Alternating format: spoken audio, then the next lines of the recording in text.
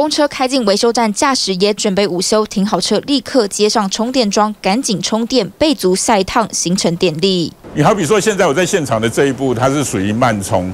如果全部电电能耗完，那开始充电的话，大约要呃四到六个小时的时间。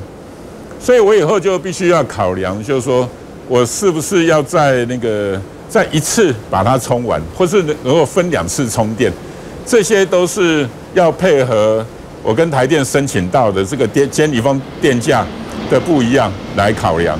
客运业者公车路线横跨双北，一趟跑下来，避免驾驶里程焦虑，就得安排充电。但以现行的电价费率，客运业者通常会选择夜间大量充电，享有优惠电价。但未来要全面改电动化，充电的需求就会提高，电价诱因恐怕还得再加大。诶，能耗是在我们公车的整个十八项成本里面啊，是前第三第三多的，所以以后这个电费。哦，就相对以前的油价，哦，那所以充电的时机。对客运公司来讲是相对的重要。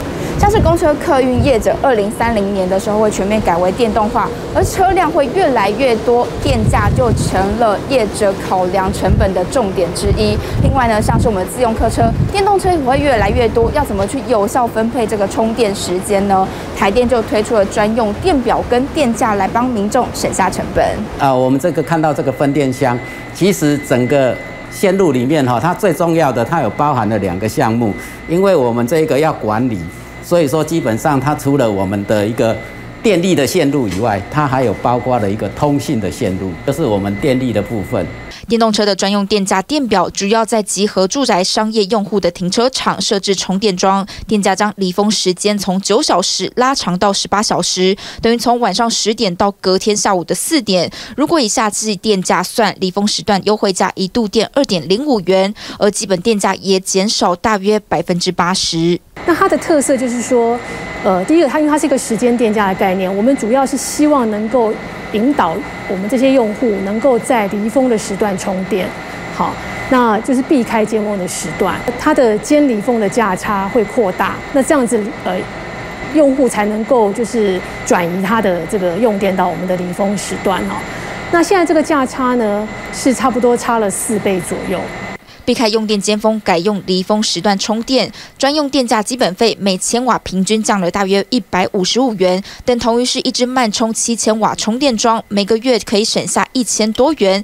电车专用电价上路，对不少驾驶人来说，提高购买电动车的诱因。我是锁定今年要来购入电动车哦，针对电动车的优惠的政策哦，比如说它的这个电费哦，电动车的电费呢，它可以。呃，比较优惠一点。啊，而且优惠的时间还蛮长的。而像这一些，我觉得都可以增加消费者购入电动车的诱因。要加速汽车、公车全面电动化，达到减碳目标，不止充电桩设置，能源管理系统得跟上，电价的成本考量也是一大推手。